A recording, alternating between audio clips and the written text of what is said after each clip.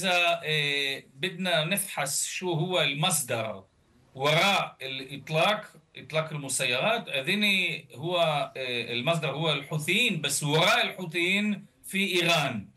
إذا في آه، حسب المعلومات الاستخبارية إذا إيران واقفة وراء هذه الهجوم أذني جزء من أو ممكن الحسابات الأمريكية الإسرائيلية بالنسبة لرد في المستقبل القريب يكونوا ممكن كمان رد ضد إيران.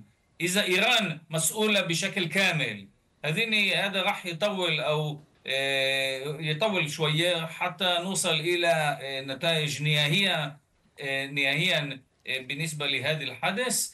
أذن نحن لسه موجودين في التحقيق في نص التحقيق. التحقيق بيعالج مش بس كمان القضية نعم. التكنيكية الإسرائيلية بس كمان كل نعم. التفاصيل وكل المعلومات بالنسبة للجو تبع هذا الحدث وكمان لنتائج اللي ممكن بتكون آه، في المرحلة نعم. الجاية بعد الغد كمان